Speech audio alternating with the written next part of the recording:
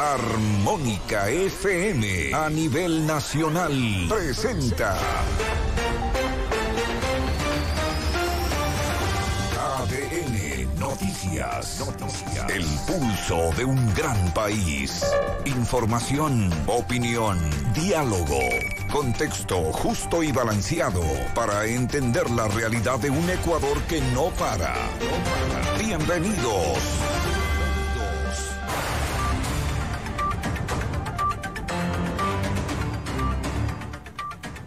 ¿Qué tal amigos y amigas? ¿Cómo están? Bienvenidos a ADN Noticias en este miércoles 20 de abril de 2022. Estoy feliz de poder acompañarlos a través de la señal de Radio Armónica FM a nivel nacional.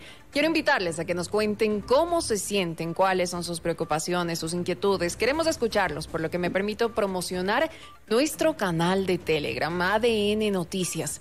A través de este canal receptaremos sus audios para escucharlos, para saber sus necesidades y fortalecer esta relación que pretendemos sea directa, sin mediadores. Destacada información que compartir con ustedes. Hoy nos acompañarán tres invitados con los que analizaremos la coyuntura nacional. Se trata de Tamara Hidrobo, activista feminista, momento crucial para la ley de interrupción de embarazo por violación tras el veto del Ejecutivo.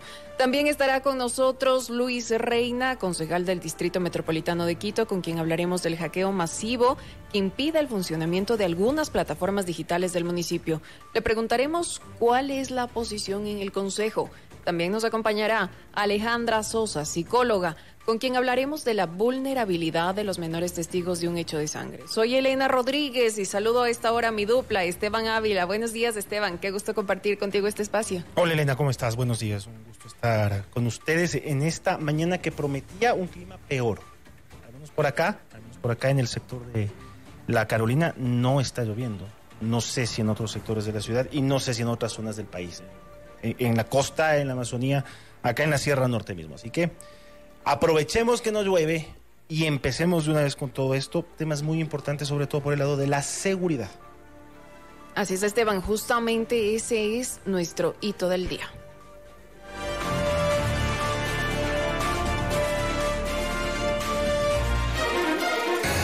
Un hecho, una frase, una palabra marca el desarrollo informativo de la jornada en ADN Noticias. Les presentamos el hito del día.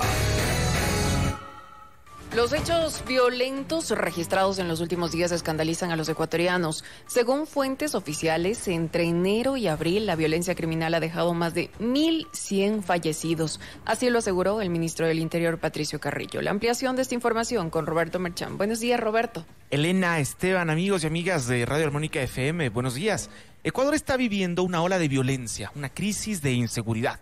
Así lo expresó el ministro del Interior, Patricio Carrillo, este martes al ser consultado sobre los últimos hechos suscitados en el país. El ministro añadió que en lo que va del año se han presentado alrededor de 1.180 muertes violentas. Eso quiere decir que al primer cuatrimestre del año 2022 estamos con lo que terminamos el año 2020. Ecuador cerró el año pasado con una tasa de 14 homicidios por cada 100.000 personas, es decir, casi el doble que en el año 2020. Esto sumado a la crisis carcelaria. En poco más de un año se contabilizan 350 presos muertos. Según el ministro Carrillo, la ola de violencia que azota al Ecuador está ligada a mercados de alta rentabilidad, mercados ilegales como el narcotráfico, la minería ilegal, tráfico de armas, tráfico de personas, entre otros. La verdad se construye con la confrontación de ideas. Una confrontación transparente, sincera, sin concesiones.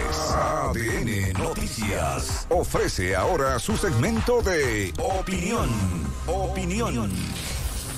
Y para nuestro segmento de opinión, Esteban, quisiera colocar algunas cifras sobre la mesa y no quedarme en la citación de casos, porque si lo hacemos, si narramos solamente los casos registrados en los últimos días, corremos el riesgo de que se crea que se trata de un tema de percepción ciudadana.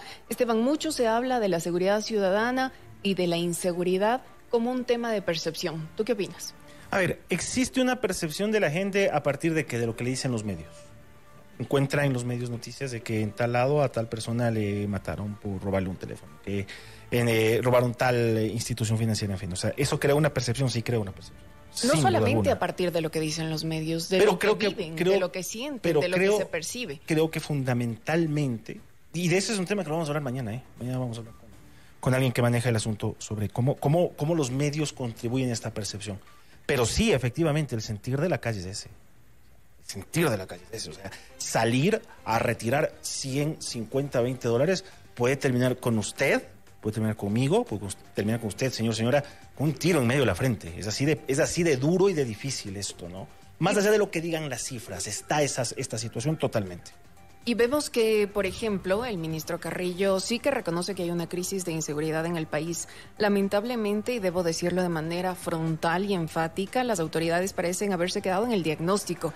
Es decir, ¿de qué nos sirve que el ministro Carrillo reconozca, reconozca que hay una crisis si no se le presenta a la ciudadanía planes reales que signifiquen una solución frente a la problemática registrada? Y aquí sí me permito citar algunas cifras. Según un reportaje de Diario Expreso, en la zona 8, comprendida por los cantones Guayaquil, Durán y San Borondón, entre el 1 de enero y el 19 de abril de este año se han registrado 404 muertes violentas, cifras que confirman que es la zona más conflictiva del país. Durante el año pasado, en el mismo periodo, se habían registrado 163 casos. A ver, para, para ponerlo en un contexto, esta zona Guayaquil, Durán y San Borondón es el Gran Guayaquil. Guayaquil conurbano. Y se registra en cosa de 100 eh, días 404 muertes violentas. Es decir, hay, eh, matan más o menos a cuatro personas, solo en esa zona. Es una grande, no es una grande, pero mueren cuatro personas diarias. Mueren de manera violenta cuatro personas diarias. Es decir, uno ya casi, casi, quienes viven ahí, como que están expuestos un poquito al tema de, de salir y, que, y tener suerte, ¿no? O sea, no, no hay una garantía alguna de, de, seguridad. Y, mira, tenemos luego en la información un detalle que, que, alarma, porque ese tipo de cosas suceden en países con escalas de violencia inimaginables, como Brasil, como Venezuela, pero ya están pasando acá algunas cosas, en las noticias lo van ustedes a contar. ¿Qué es lo que está sucediendo? ¿Qué es lo que está sucediendo? Que más allá del discurso de la penetración del crimen organizado como desestabilizador de la institucionalidad y la paz del Ecuador, con intenciones incluso políticas, más allá de ese discurso, que habrá que debatirlo, creo yo, para encontrar alguna realidad en el mismo o algún sustento en el mismo, más allá de eso, existe una situación de seguridad, de inseguridad, perdón, generada por los graves y profundos problemas sociales que tiene el Ecuador.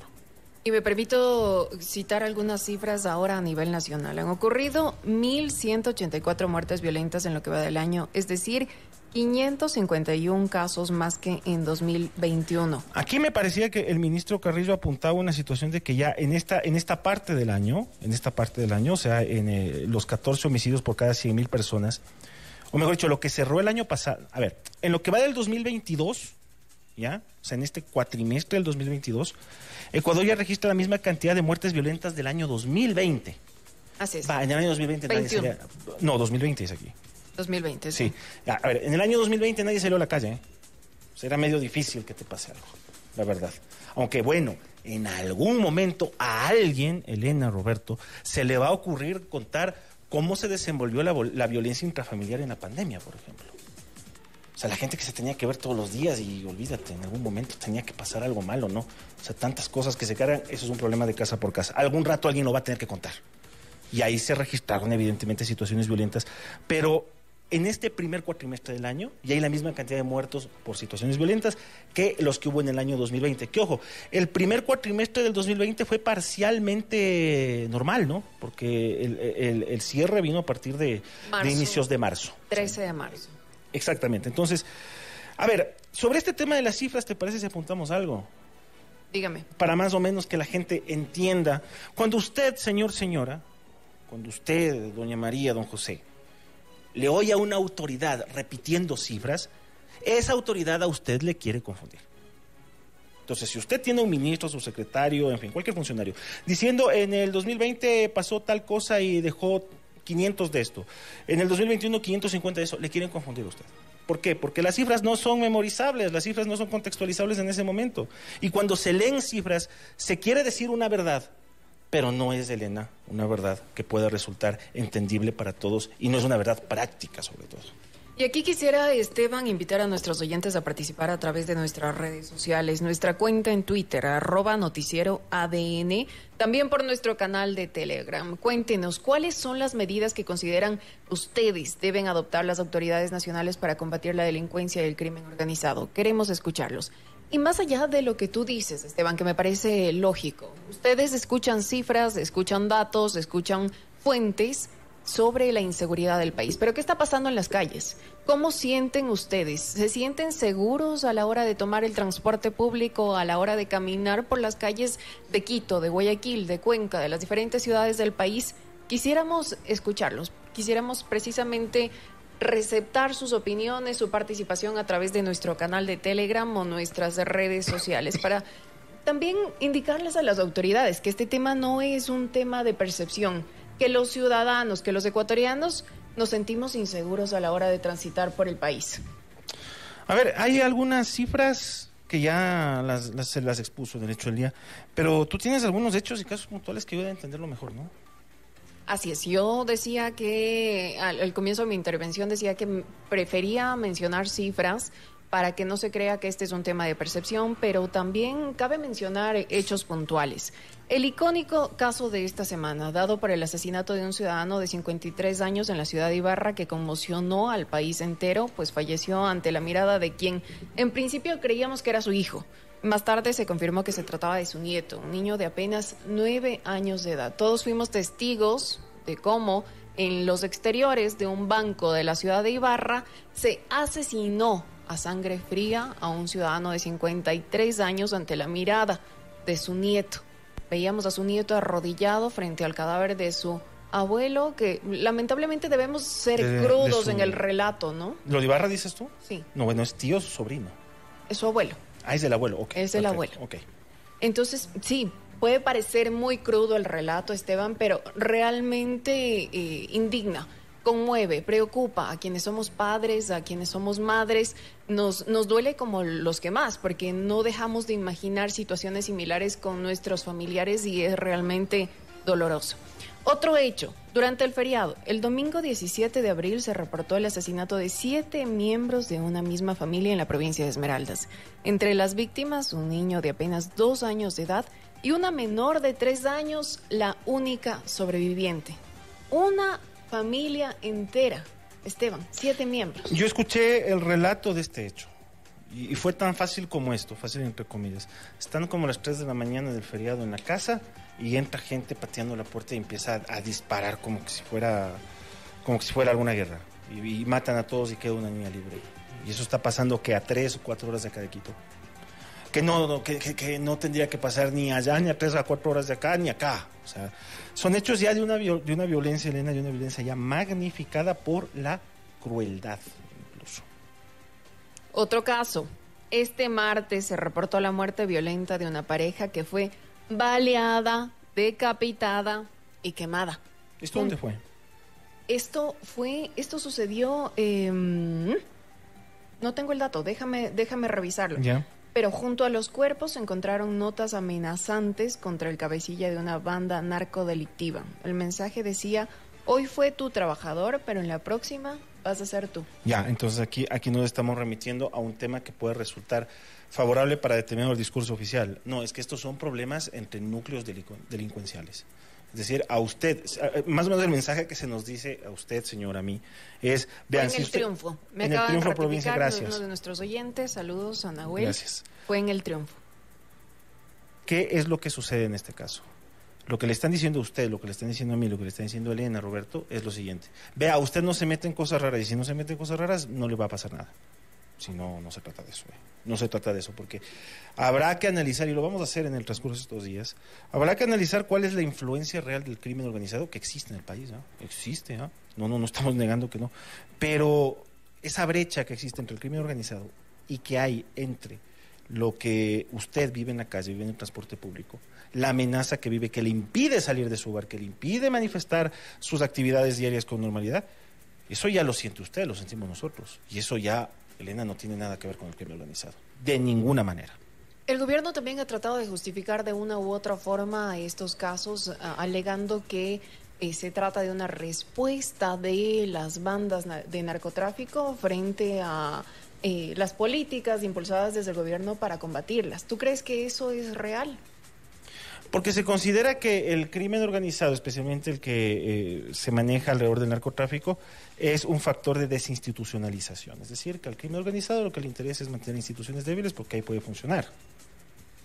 Puede ser, pero la verdad es que eso ya no le pero alcanza. Pero resulta suficiente esa no, explicación. No, no, eso ya no, eso ya no le alcanza a usted. A ver, seamos prácticos y simples. ¿eh? Ser simple es una virtud, por lo demás. A ser simple se lo, ha, se, lo ha se lo ha denigrado como defecto y no ser simple es una virtud. Cuando a usted le roban el transporte público, eso no tiene nada que ver con el crimen organizado. No tiene nada que ver. No tiene nada que ver.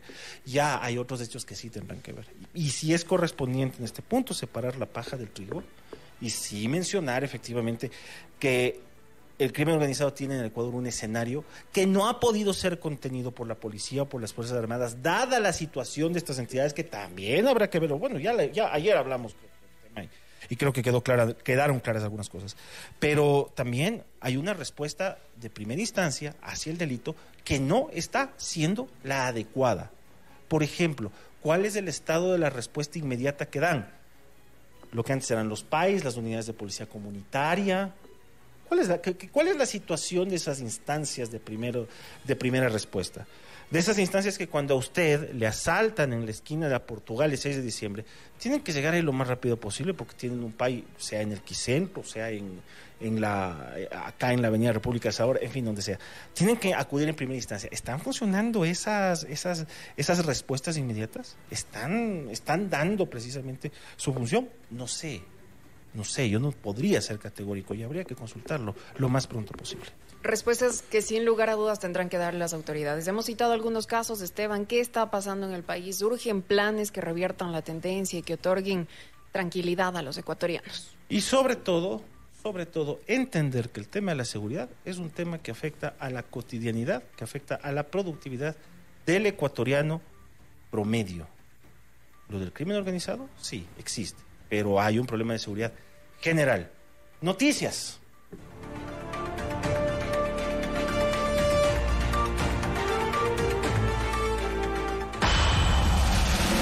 contamos los hechos que marcan el pulso nacional y mundial.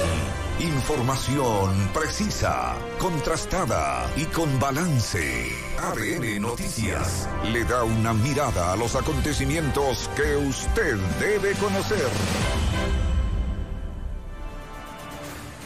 La Fiscalía General del Estado abrió investigación contra Renacer ante el supuesto delito de captación ilegal de recursos financieros. La denuncia inicial fue de la Superintendencia de Bancos, la Unidad de Análisis Financiero UAFE y la Policía Judicial. La difusión de un video donde una persona con uniforme de la Policía Nacional recibe 10 mil dólares, supuestamente provenientes de esta plataforma, motivó el inicio de la investigación, también al interior de las fuerzas del orden, donde se verifican acciones disciplinarias contra los miembros vinculados a este y otros casos similares. 92 firmas de respaldo se requieren para que la Asamblea Nacional se autoconvoque sin necesidad de un llamado de la presidenta Guadalupe Llori. El bloque del Partido Social Cristiano junto al de la Revolución Ciudadana están de acuerdo en acogerse a esta opción cuyo obstáculo es acumular el citado número de firmas. De acuerdo a los cálculos, la suma de respaldo llega a 70 firmas, incluyendo legisladores de los partidos mencionados, algunos de la izquierda democrática y disidentes de Pachacutic.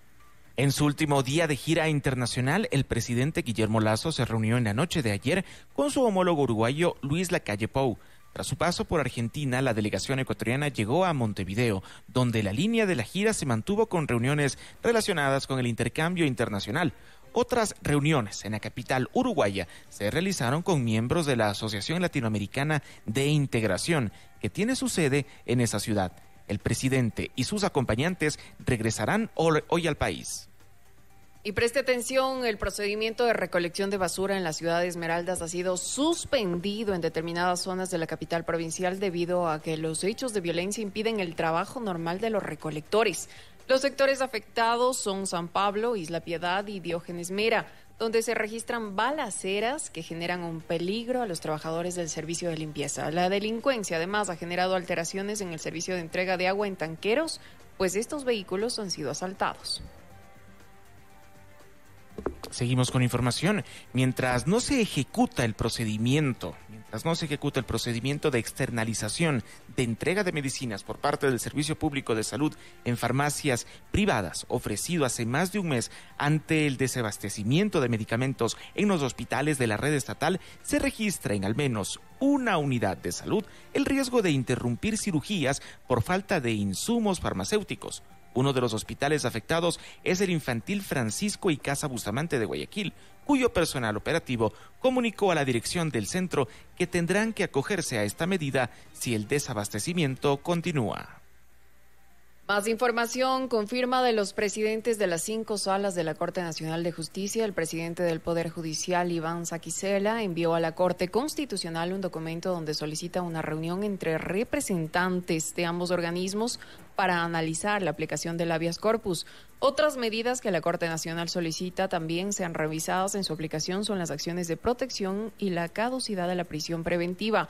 La carta enviada la semana pasada coincide con la salida del ex vicepresidente Jorge Glass por la aplicación de uno de estos recursos. El área económica del gobierno de Rusia prevé un futuro inmediato complicado tras la agudización de las medidas económicas de bloque mundial que afectan al país como parte del conflicto bélico con Ucrania. El Banco Central de Rusia ha reconocido el impacto de estas medidas, sobre todo el impedimento de importaciones y exportaciones. Voceros del organismo han reconocido que las reservas del país permiten una autonomía solo temporal de la economía.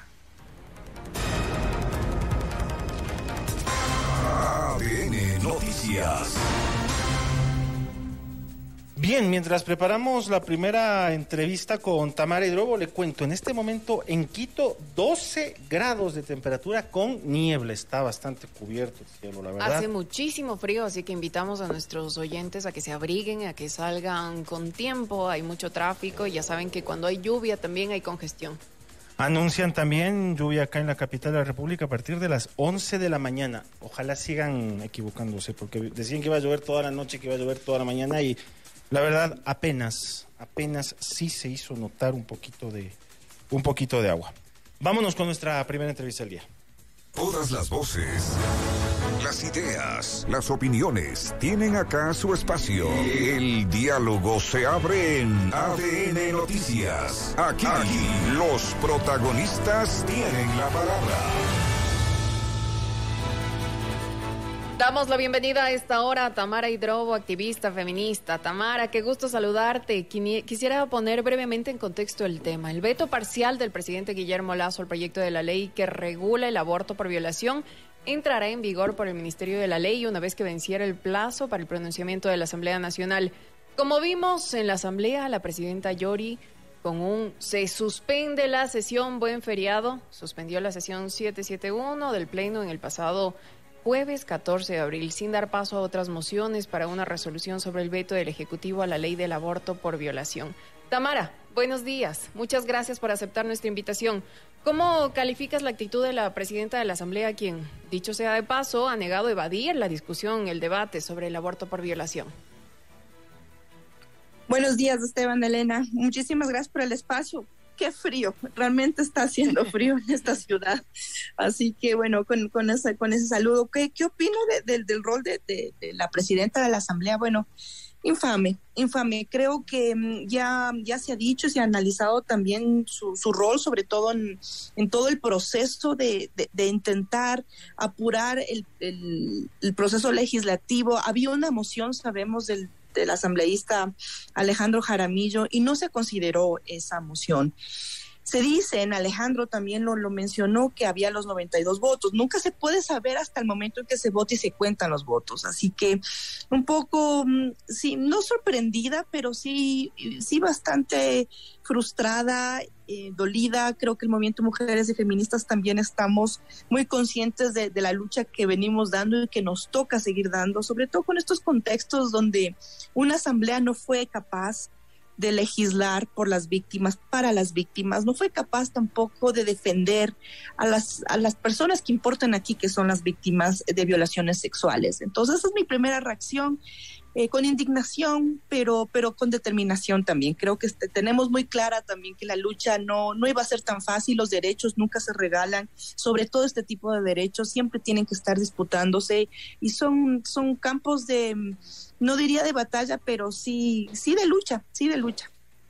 Esta lucha ha sido una lucha histórica, Tamara. Los movimientos eh, feministas, el movimiento de mujeres ha venido realmente exigiendo estos derechos a lo largo de, la historia. Y vemos que lamentablemente hay una Asamblea Nacional que no está en sintonía con los movimientos feministas. ¿Qué se, qué se hará? ¿Se presentará una demanda de inconstitucionalidad ante la Corte Constitucional? A ver, eh, creo que tenemos eh, varias, varias alternativas. Eh, también tenemos que considerar el tipo de alternativas que, que se dan por los tiempos. se están dando y se están analizando las compañeras que son abogadas. Reitero, yo no soy abogada, pero las que sí son abogadas feministas saben de esto y están preparando las demandas de inconstitucionalidad. Son procesos que pueden durar inclusive hasta dos años con, la, con la Corte Constitucional. Por ahora también se están analizando medidas cautelares que tengo entendido que para que la Corte responda dura más o menos unos 30 días, eso se espera. Y, y, esto se, se, busca que también exista un pronunciamiento sobre la, sobre la inconstitucionalidad de, este, de esta ley que va a entrar ya al registro oficial, no sabemos pensamos que entre mañana, en esta semana, en esta semana.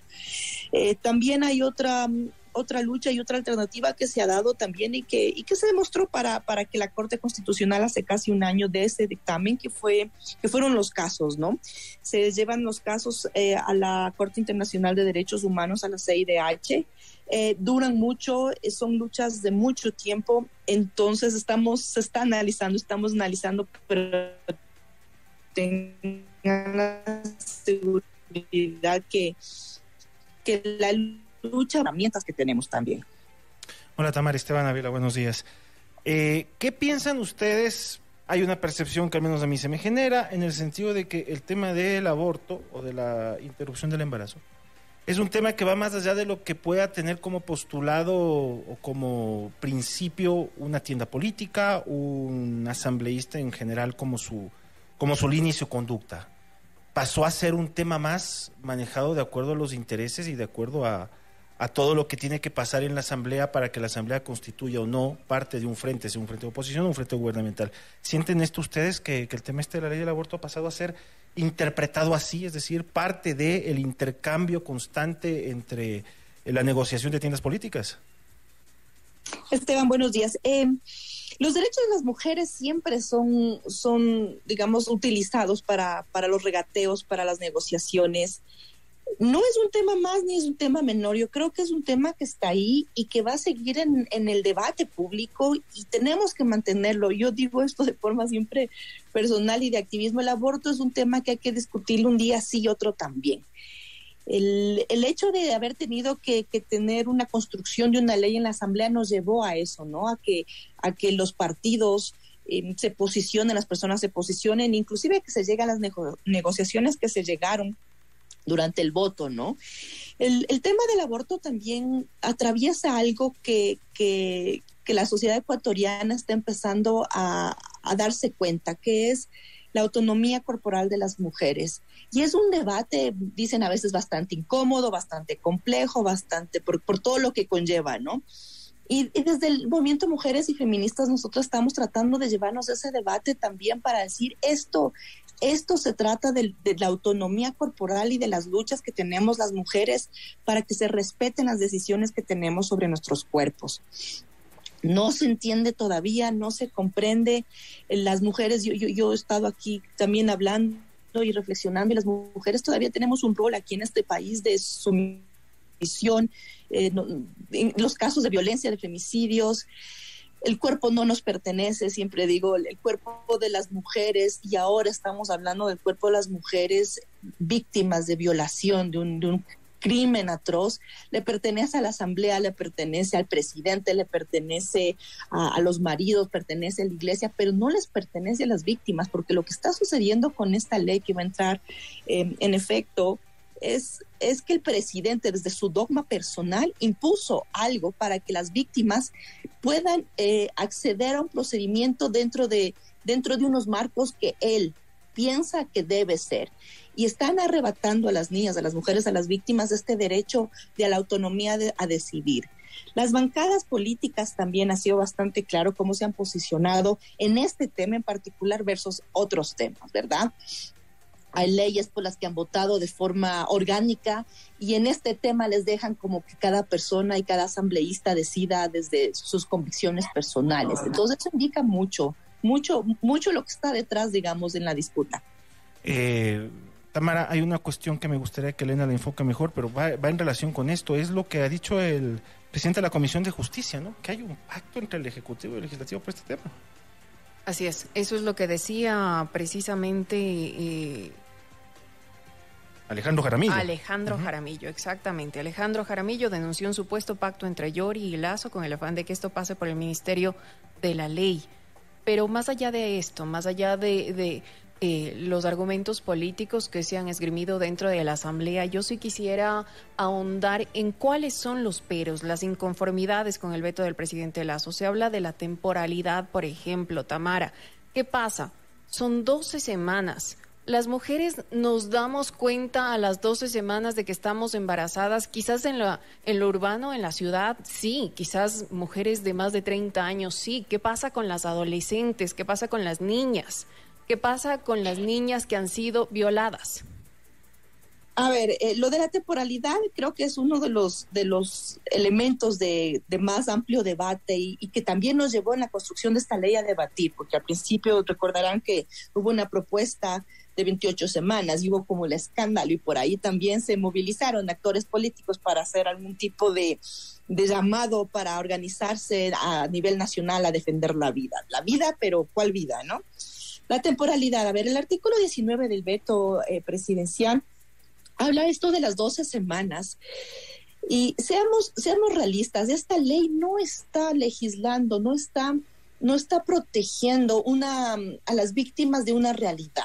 Cuando hablamos de 12 semanas, las mujeres, muchas mujeres que inclusive programan, desean y están eh, dispuestas a tener un embarazo consentido y buscado, no se dan cuenta que pueden estar embarazadas a las 12. Muchas veces llegan hasta las 8 semanas, 10 semanas, eh, muchas veces con mucha suerte, tal vez a las 5 o 7 semanas. Estamos dando un plazo de 12 semanas, o el presidente más bien dicho, dio un plazo de 12 semanas a niñas víctimas de violencia sexual. Las niñas que son violadas sistemáticamente llegan a tener concepciones. A mí no me gusta hablar de embarazos cuando hablamos de violación, de concepciones forzadas, cuando ni siquiera han menstruado por primera vez, cuando sus cuerpos ni siquiera están listos para gestar. 12 semanas las niñas no saben todavía que están gestando. Inclusive yo, yo sí quiero aquí compartir Surcuna, que es la organización de mujeres que ha acompañado y ha estado también luchando en todo, todo este, todos estos años, nos dio datos, nos dio datos de las, después de lo que la Corte eh, despenalizó al aborto por violación, ellas acompañaron a niñas. El 78.6% de niñas entre 10 y 18 años que accedieron al aborto en este tiempo lo, hicieron en la semana 18. En la semana 18. Esta ley está dejando de lado la realidad de las niñas violadas. No menstruan, empiezan a gestar eh, producto de, esta, de estas violaciones y hasta que se dan cuenta pueden muchas veces llegar a las 20 semanas. ¿Qué va a pasar con estas niñas? ¿Cómo, cómo van a poder acceder a un procedimiento que, que, busque reparar sus vidas? Que inclusive habrá niñas violadas que sus cuerpos no van a sostener esta gestación y que lleguen a, ser atendidas, porque esa es la realidad muchas veces de las niñas, llegan a ser atendidas por emergencias obstétricas. No, no por abortos eh, cuyos cuerpos están eh, dando, digamos, un proceso natural porque no avanzan a gestar a las 20, 22 semanas. ¿Qué va a pasar con estas niñas? Y además, la otra cosa, aparte de la temporalidad, son los requisitos. Los requisitos también están coartando absolutamente y, totalmente, eh, inclusive creo que este es un acto de inconstitucionalidad también al acceso al procedimiento médico. Tener tres requisitos fuera de la realidad en la ruralidad o, o las mujeres o víctimas de violación en las partes urbanas, estamos pidiendo la denuncia, están pidiendo o si no una, una declaración, juramentada. También. O en la revisión médica Eso es revictimizar. Además, díganme, ¿cuál es el procedimiento de una víctima para poder acceder a uno de los tres requisitos? ¿Cuál es? que tenemos que atravesar? ¿Cuánto, cuesta? ¿Qué es lo que tiene que hacer una mujer eh, violentada, violada de un sitio rural para acceder a una declaración juramentada? Cuando estamos hablando de un país que se está derritiendo porque no hay trabajo, porque la violencia está a flor de piel. Tamara, solamente para finalizar, qué pena tener que cortar. Quisiera tu, tu, posición, tu visión. ¿Qué pasó con el progresismo en la política del Ecuador? Tú no vives en Ecuador. Sabemos que estás de visita ahora mismo, pero eso te permite también tener una visión externa, quizás una visión menos sesgada de lo que, de lo que está pasando. Ahí en el progresismo se defienden los derechos, sin embargo, lastimosamente se dio la espalda a las mujeres. ¿Es así? ¿Qué es el progresismo? ¿Qué es el progresismo? ¿Quién es dueño del progresismo? Eh, ¿Y cómo se definen los progresismos? Yo, sí creo que tenemos que hacer un ejercicio de definición de los conceptos. Y cuando digo definición es comprensión. ¿Qué significa ser progresista en este país de un partido político? ¿Qué significa inclusive ser feminista? ¿Qué significa ser de izquierda conservador? Porque hay personas que tienen una ala política, digamos, eh, económica de derecha y que están posicionándose claramente a favor del aborto, no solamente violación, sino libre. Entonces, ¿quién es dueño? Yo siempre digo del progresistómetro, ¿verdad? Em, una decepción, yo creo que las mujeres políticas que están haciendo política, que están en contra de estos derechos a elegir de las mujeres, son el claro ejemplo de la inconsistencia y la coherencia. Se llaman progresistas y tienen un discurso absolutamente violento en contra de las decisiones de las mujeres. Entonces, eso, invitarle al país, a las personas a empezar a definir empezar a posicionarse y empezar a comprender lo que significa identificarse con una ala política o inclusive con el feminismo también, ¿no? ¿Qué significa ser feminista y, qué te lleva también a luchar por estos principios que te definen en tu identidad política partidista o, de otros aspectos que las personas quieran tomar? Sí, a definir, a definir y a comprender lo que estamos defendiendo también. Gracias, Tamara. Muy amable, muy gentil por la versión. Muchísimas gracias por tu participación. Un abrazo. Pausa y regresamos. Luis Reina Chamorro, concejal, sobre el hackeo masivo generalizado y notorio al municipio de Quito. Informe también de regiones. Ya volvemos.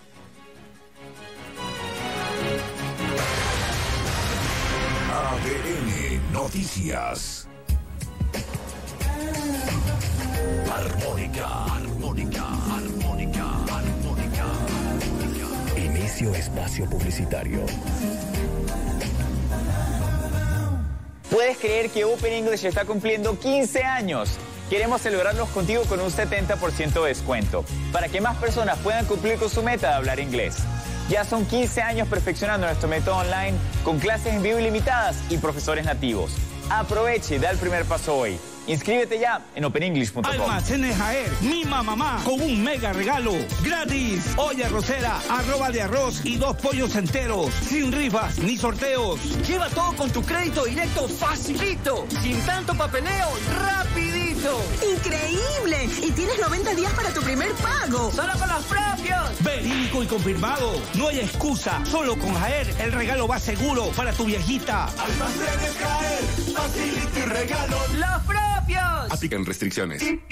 ¿Saben por qué mi bike X35 es mi mimado? Porque es un SUV que tiene espacio para todos y el respaldo de la red de automotores y anexos. Todo desde 17,990 dólares y con un crédito directo a una tasa desde 9.9%. ¿Y tú qué esperas para tener tu SUV Bike X35? Conviértelo en uno más de tu familia. Ahorra tus utilidades y gana con Banco del Austro. Participa en el sorteo de lavadoras, secadoras, televisores y tablets por cada 50 dólares de depósito en tu cuenta de ahorros. Si todavía no tienes cuenta, solicítala en cualquier agencia a nivel nacional y gana 10 oportunidades para participar en el sorteo. Consulta más información en www.bancodelaustro.com. Todo cambia. Los electrodomésticos, la tecnología, hasta nosotros. Y con más de 72 años, en Marcimex lo sabemos. Por eso, nos renovamos y evolucionamos para conectar con los ecuatorianos. Con los que buscan soluciones y no solo productos. Con los que reconocen el valor de una sonrisa. Y los que llegan con dudas pero sepan con soluciones. Es que conectar es nuestra esencia. Porque entendemos que tecnología ofrecen todos. Pero la magia de conectar con todo un país, pocos. Marcimex. Nutella combina con pan caliente, con frutilla, con pancakes y con sonrisas. Elaborado con ingredientes de alta calidad como avellanas y cacao. Todos los desayunos combinan con Nutella. Con Ecoline la evolución continúa. Te contamos que ahora todos los modelos de la línea de cocinas Evolution 2022 vienen con funciones renovadas. Ecoline te ofrece todo lo que necesitas en funciones, diseño, precio y 24 meses de garantía por esta temporada. Encuéntralos en los principales almacenes de electrodomésticos del país. Ecoline tiene todo lo que necesitamos en nuestro hogar. Los amantes del descanso reconocemos que nos encanta quedarnos un ratito más en la cama, que nuestra cama puede ser también oficina que nos dormimos con la ropa puesta y la tele prendida, que nos gusta dormir acompañados, que los juegos y desayunos en la cama están permitidos. Y reconocemos el momento de renovar nuestro descanso. Los momentos más felices descansan en un Chaide. Chaide, sueña con un mundo mejor. Armónica. Fin. Espacio publicitario.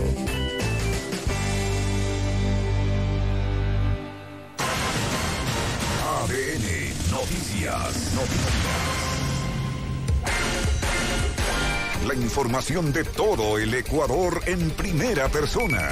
Los corresponsales de ADN Noticias en la costa, Sierra y Amazonía nos traen el sentir de su región.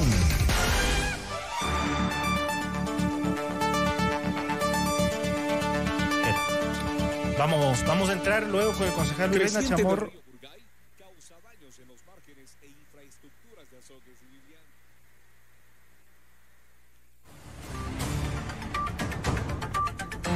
Continuamos y nos vamos hasta el austro ecuatoriano porque hasta donde la creciente del río Burgay ocasiona daños en los márgenes de los cantones Azogues y Biblián, nuestro corresponsal Pablo Plasencia menciona que la gobernación del Cañar activó el Sistema Nacional de Gestión de Riesgos para afrontar la emergencia.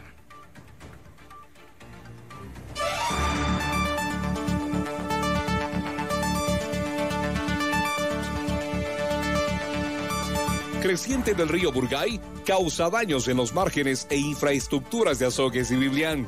La creciente del río Burgay, producto de las fuertes lluvias registradas la noche de este lunes 18 de abril del 2022, deja daños en las vías, márgenes e infraestructura de los cantones Azogues y Biblián de la provincia del Cañar.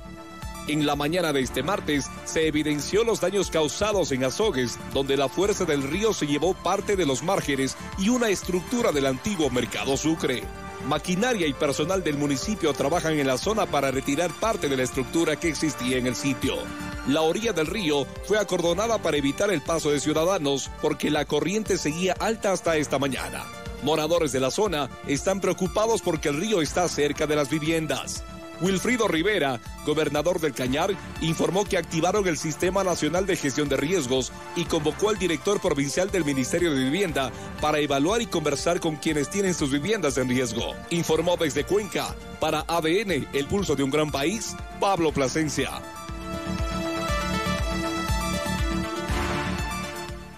Las voces, las ideas, las opiniones tienen acá su espacio. El diálogo se abre en ADN Noticias. Aquí, Aquí los protagonistas tienen la palabra. Así es, el diálogo se abre en ADN Noticias. A esta hora saludamos a Luis Reina, concejal del Distrito Metropolitano de Quito. Esta semana el municipio de Quito reconoció que su sistema fue hackeado. Un ataque informático al municipio de Quito motivó la suspensión de trámites digitales. Concejal, muy buenos días. Muchas gracias por atender nuestra invitación. Elena Rodríguez le saluda. Su reacción ante el hecho. Buenos días, muchísimas gracias. Sí, eh, como toda la comunidad, debe haberse encontrado con la sorpresa de que no había regularidad. El día sábado 16 se ha evidenciado una vulneración de los sistemas informáticos. Hablan de un hackeo y, han pasado eh, cuatro días. Todavía no tenemos previsión de cuándo se eh, rehabilitarán los servicios.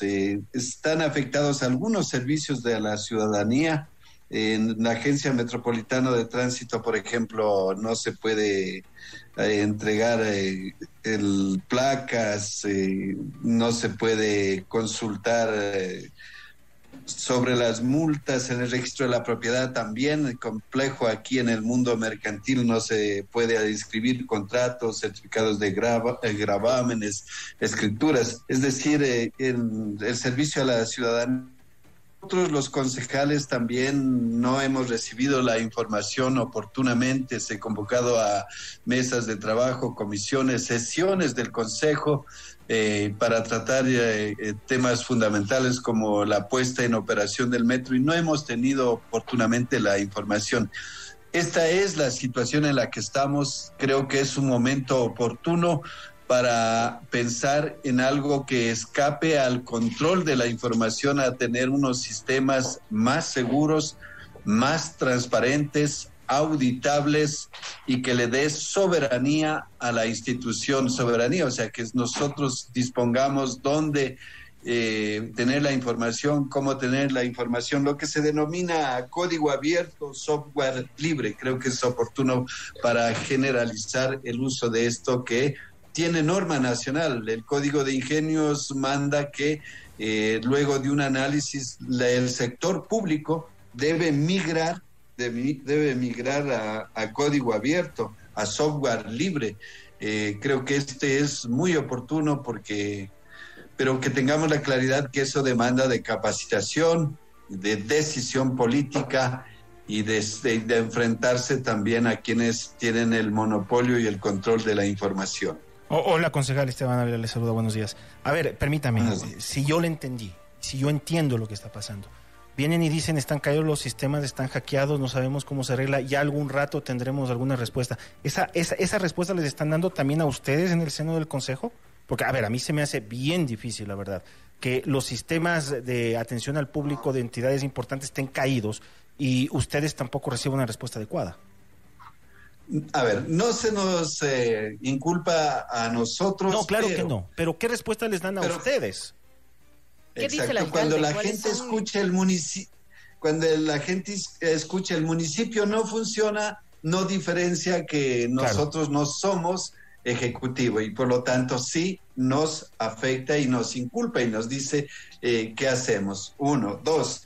La, la única explicación es que, o sea, a consuelo de, que les afecta a todos que esto le ha pasado en, las Europas, en los, en los, en los continentes, ¿cómo no va a pasar en Quito? Y, claro, esta es la explicación que ayer nos dio el, presidente del Consejo, Santiago Guarderas. permítame yo me abstengo de decirle alcalde porque yo le reconozco solo como presidente del Consejo. A ver, permítame entonces para la explicación que nos da. Concejal, permítame entonces, permítame lo siguiente el alcalde, el señor Guardera, les dice a ustedes, bueno, esto también pasa en Europa o pasa en otros países, ya pues. O sea, ¿esa es la, esa es la explicación que se les da? Claro, esa fue la eh, a viva voz ayer, sí, sí. es claro, es para reírse, la verdad, ¿eh? Es para reírse. bueno, pero ustedes qué proponen entonces? ¿Cuál es la cuál es la alternativa que ustedes dan? Yo digo, primero, eh, a ver, eh, tiene que dar seguridad a que no se va este este momento no puede ser para que se agraven las dificultades que tiene la ciudadanía.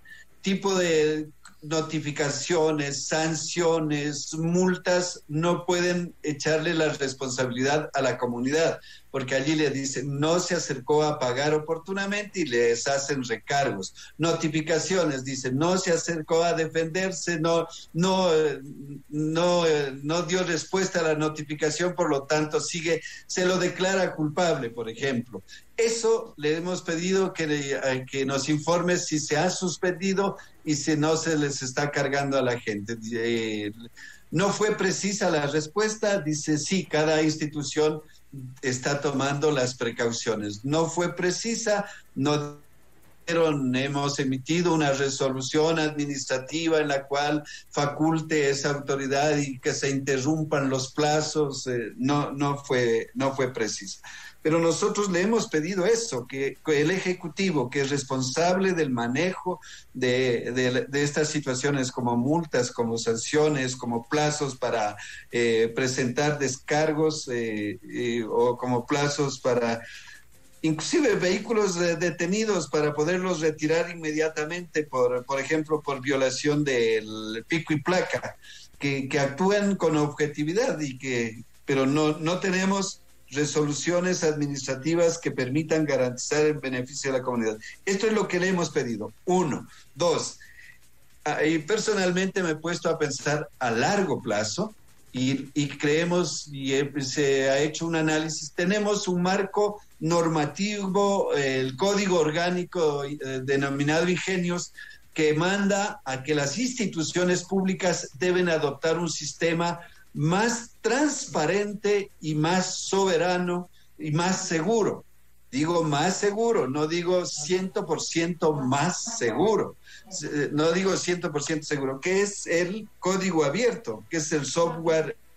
Esto es, creo que es importante y hay que generalizarlo. Ya tenemos unas instituciones en el Ecuador, en la misma la misma ventanilla de atención al ciudadano en el municipio es un buen ejemplo de que ese software se lo puede utilizar. Concejal, según las autoridades municipales hay la presunción de que el hecho se trató de un posible secuestro de información para pedir dinero a cambio de desencriptarla. ¿Estamos a merced de los delincuentes cibernéticos? ¿Qué está haciendo el Consejo más allá de, la, de las acciones que usted bien ha narrado para evitar en el futuro estos posibles ataques? Los grandes monopolios vendedores de software primero venden unos softwares con que genera dependencia tecnológica. O sea, no podemos, eh, los, operadores, los que utilizan, no pueden desarrollarlos porque está prohibido, solo puede hacer lo que está ahí. Entonces, genera dependencia. Tienen fallas tecnológicas y entonces hay que contratar y hay que estar pagando, hay que pagar la patente para poder eh, solucionar las fallas. Y los que hacen hackers, los que hacen eh, secuestros, los que hacen esto, lo hacen justo. Entonces, yo tengo el antivirus, yo tengo la solución, les cuesta tanto, esto está en el contrato o esto no está en el contrato. Exactamente de eso se trata. Por eso la única salida es migrar a este sistema que es más seguro y que evita y que tiene un aporte comunitario, que no es de propiedad de nadie eh, yo valga la oportunidad, sí, no es que es gratis, ¿por qué no es gratis? Porque hay que eh, capacitar, hay que generar un proceso de migración, hay que ver cuántos paquetes ya tengo comprados y cómo puedo pasarme a esos nuevos, a este nuevo sistema, hay que evaluarle. No, la migración no va a ser, pero yo digo, hagamos de esta crisis para deshacernos de una dependencia tecnológica, avanzar hacia una soberanía y a unos sistemas más seguros. Eh, para terminar, concejal, lo veo usted muy enfocado en la solución y en un manejo adecuado, sí, pero en este momento también corresponde fiscalizar. ¿Qué está haciendo dentro de las labores de ustedes como consejo para fiscalizar esta situación, para poner a los responsables a dar respuestas y aparte de aquello también para verificar qué ha sucedido, por ejemplo, con la firma de convenios de confidencialidad y situaciones que están alejadas pues de, de, la norma? Gracias por su, por su, por su presencia, concejal, y contésteme esta última pregunta, por favor. A ver, primero yo estoy pidiendo cuántos contratos de software tenemos, para qué servicios los tenemos. Esto nos permite evaluar eh, estamos, eh, cómo estamos dependiendo. Eh, con esos también me permite evaluar cuántos gastos que estoy gastando en, en, la contratación de todos este software privativo pagado y veo que y cómo a largo plazo puedo obtener. Y tercero, eh, hemos pedido medidas urgentes para que no se cargue a la ciudadanía eh, los impactos de este hackeo. O sea, le, hemos pedido que suspendan, eh, que consideren que no es parte del error de la ciudadanía el no haber concurrido a tiempo, el no haber cancelado una multa que ahora no la, no la puede cancelar. Entonces, que son las medidas que tiene que atender inmediatamente. Gracias, concejal. Un abrazo. Buenos días. A ustedes un abrazo, buenos días. Luis Reina Chamorro. Las redes sociales tienen su propio ritmo.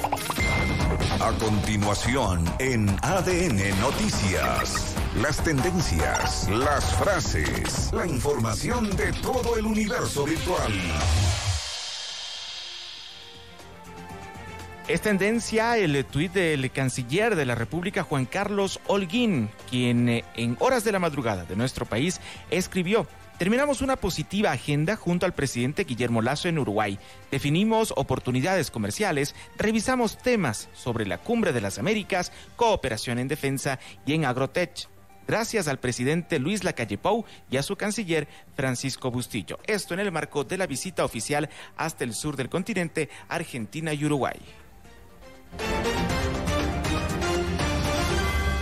Todas las voces, las ideas, las opiniones tienen acá su espacio. El diálogo se abre en ADN Noticias. Aquí, Aquí los protagonistas tienen la palabra.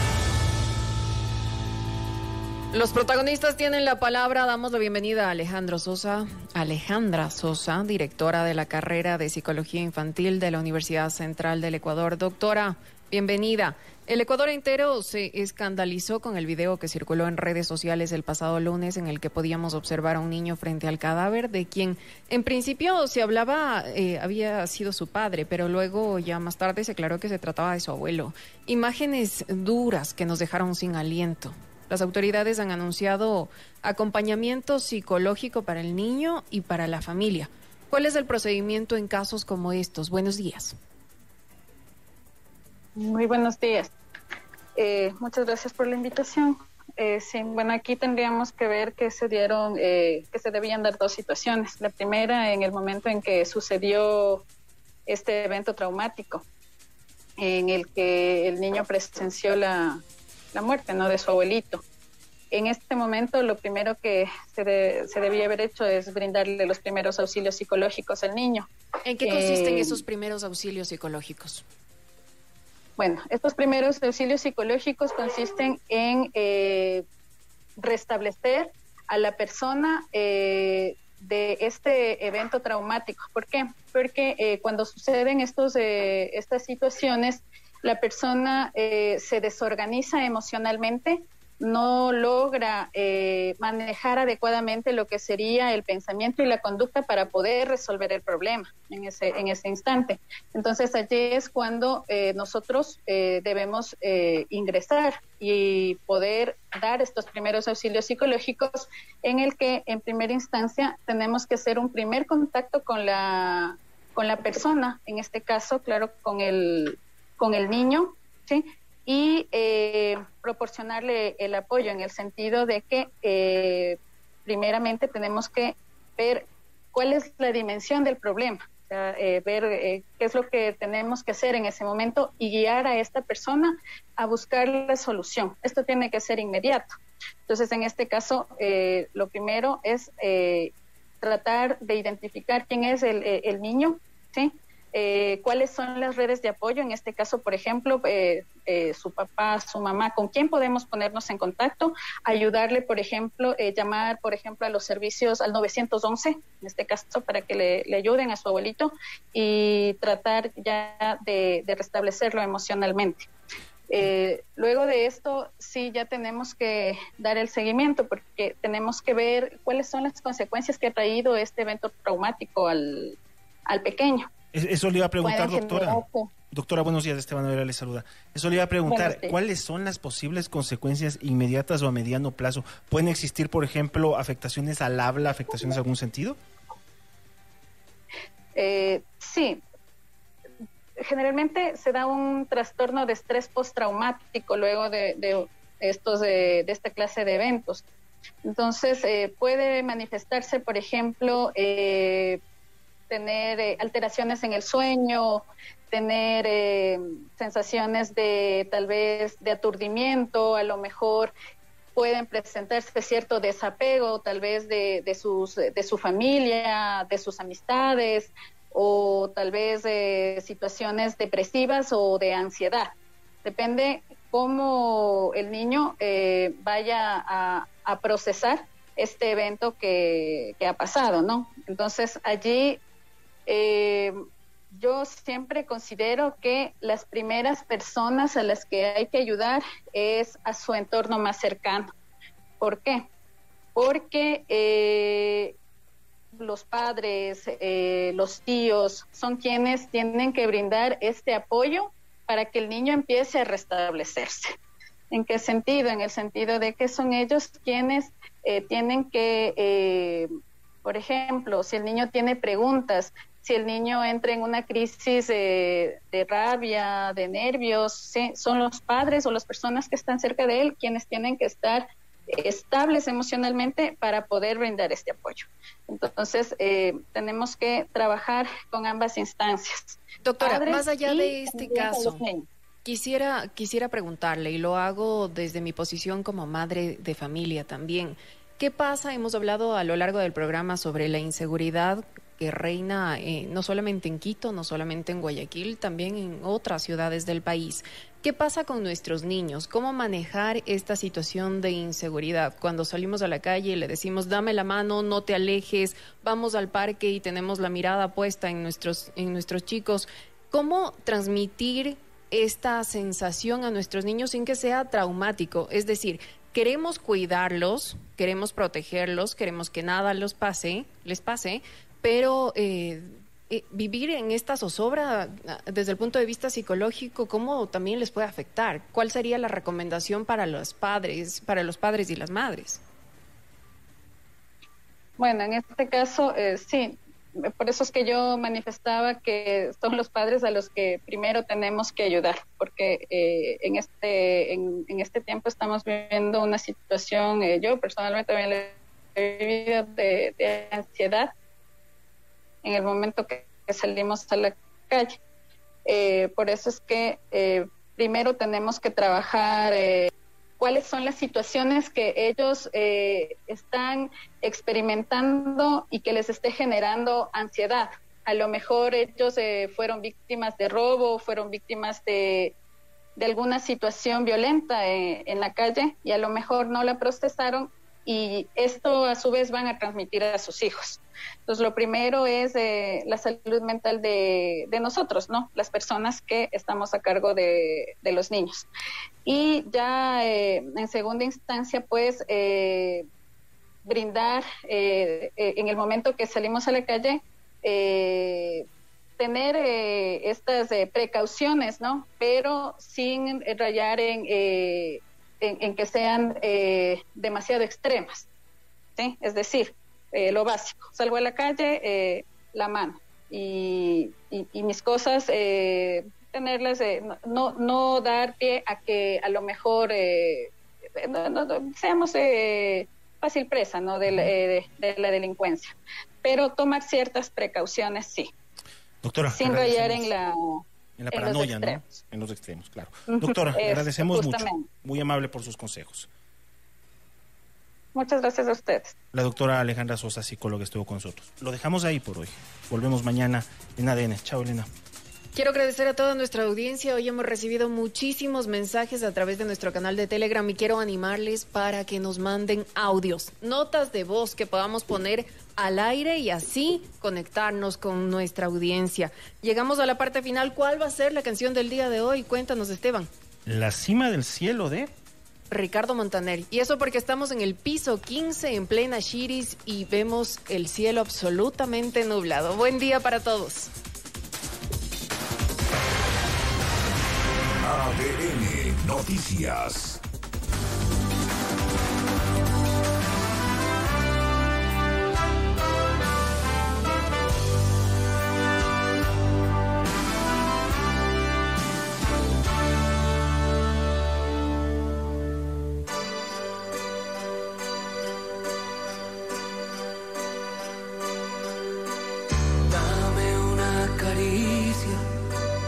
Dame el corazón, dame un beso intenso en la habitación, dame una mirada, dame una obsesión, dame la certeza de este nuevo amor, dame poco a poco tu serenidad dame con un grito la felicidad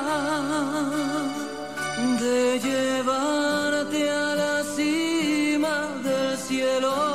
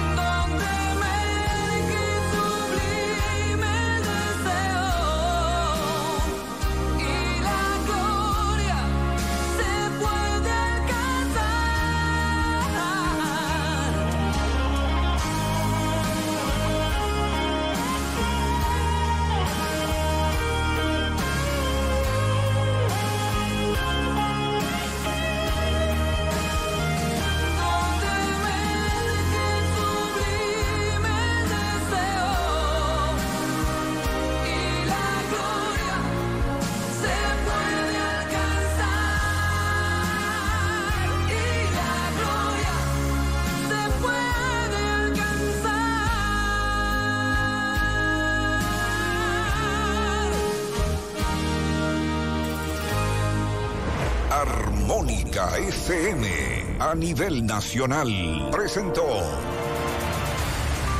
ADN Noticias. El recorrido informativo. Todas las voces y todas las corrientes nos encontrarán en una próxima edición. Hasta entonces.